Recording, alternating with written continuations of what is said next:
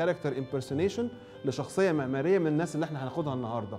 عندنا أكتر من 30 choice ال 30 معماري دول هتختار واحد أو اتنين منهم مطلوب منك إنك تعمل عمل درامي عنهم في 15 دقيقة علشان تقدر توضح أهم الملامح ملامح بتاعتهم.